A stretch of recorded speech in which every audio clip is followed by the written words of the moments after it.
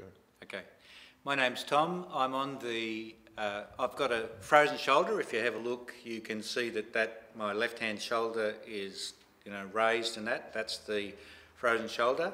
I'm on the Facebook frozen shoulder group.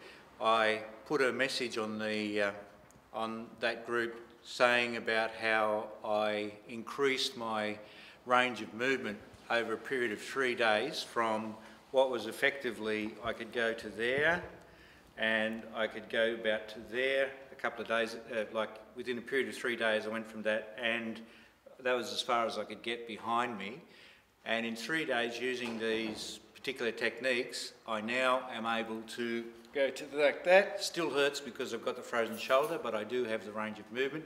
I can actually go all the way up and I can put my hand behind my back. Now the way that I was able to achieve that was by doing the normal stretches that my physiotherapist told me to do. But I found that just doing those exercises um, meant that I spent long hours without really much benefit. My, uh, my sister-in-law, in fact, gave me a massage machine and all of a sudden um, everything changed. So just to, to, say, I, I don't have any medical um, uh, knowledge or, or expertise. What I'm going to show you is just ideas for you. These are the things that work for me. You'd have to work out what uh, works for you if you're going to try this. I'm just going to show you the sort of things that I was doing to give you some ideas that might be helpful to you.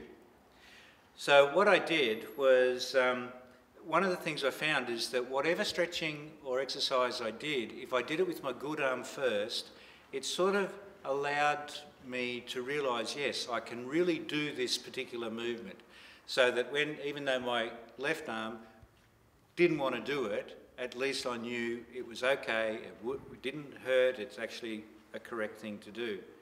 Um, the other thing I've got to say is this hasn't cured my frozen shoulder. It's still painful um, and um, uh, all of those sorts of things. I just simply have better range of movement. So the way that I did it was, um, oh yeah, that's right, I found that um, I needed to always give my arm good support while I was doing this. Otherwise, it simply wouldn't, um, it wouldn't work. So the sort of exercises I do was, uh, and I'd um, set up all sorts of little things to, uh, to give me the support I needed, but also the access to my shoulder. So this was the massager that um, my, it was loaned to me. I'm not going to turn it on now because it makes a lot of noise, you won't be able to hear me.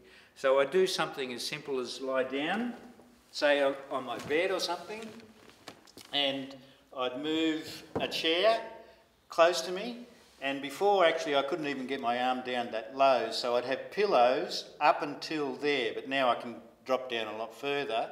And I'd just get to a point where I was in a reasonable amount of pain, um, and that I was just getting a tiny bit of support from the pillow, and I'd simply turn my massage machine on, and wherever the pain, wherever, from wherever I was experiencing the pain, I'd put the massage machine. So I just put it on, and it was like as if it just switched that muscle off.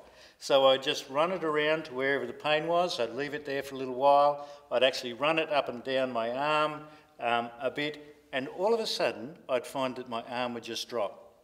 So then I would go and I'd take a pillow out or shift the pillow so that my arm could drop a bit more and I'd find the bit where it's hurtful, it might be inside, it might be underneath, um, it might be across the top, it might be just around here, it might be down the arm.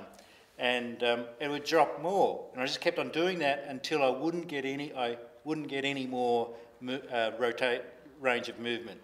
And then I'd go try a different exercise.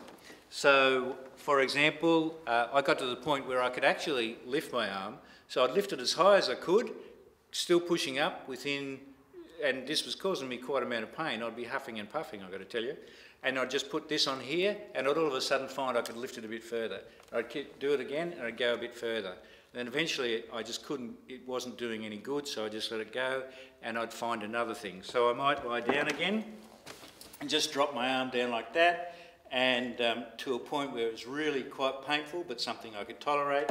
And again, I just um, moved the massage machine around where I felt the pain most of all, and all of a sudden it would let go and it would drop another inch. I'd keep on doing that. And I did that for probably three quarters of an hour in the morning, three quarters of an hour at night for three days, and I've got, as you saw, nearly all of my range of movement back.